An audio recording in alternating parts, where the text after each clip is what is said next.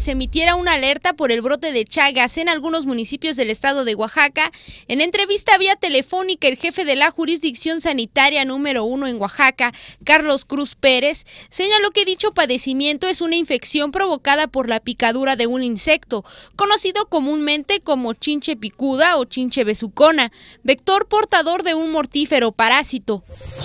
Pica al ser humano y ya cuando está lleno de sangre, defeca sobre el, lugar de la picadura, que hasta cierto punto produce cierta comezón a nivel de la piel y el humano por tener un reflejo no se rasca y produce ciertas laceraciones en la piel que condiciona que este parásito atraviese la barrera de la piel y llegue al torrente sanguíneo.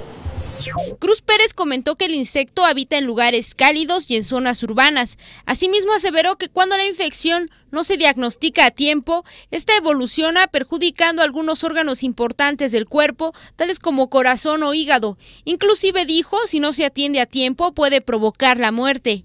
Se maneja que dentro de las casas a lo mejor falte aseo, pero el, el vector, es la chinche, normalmente habita en el medio, en el medio en el cual nosotros estamos inmersos. Ahora, los vectores, eh, nosotros podemos tener reservorios, que en este caso suelen ser los animales domésticos, los animales silvestres.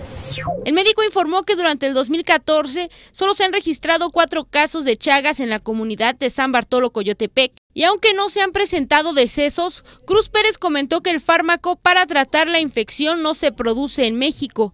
El tratamiento de estos pacientes eh, es a través de un fármaco que no se produce en México, que se produce directamente en el Brasil. El esfuerzo que hacen los servicios de salud a través del titular, el doctor Germán Tenor Vasconcelos, es que estos pacientes entren a un protocolo de estudio. Al entrar a un protocolo de estudio se solicita este, este medicamento directamente al Brasil, el cual envía este tratamiento para que se le dé seguimiento a los pacientes diagnosticados en la ciudad de Oaxaca. Finalmente, el jefe de la jurisdicción sanitaria señaló que la infección de Chagas se puede evitar.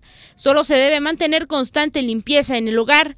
Con imágenes de Antonio Reyes, reportó para MBM Televisión, Vicky Ramírez.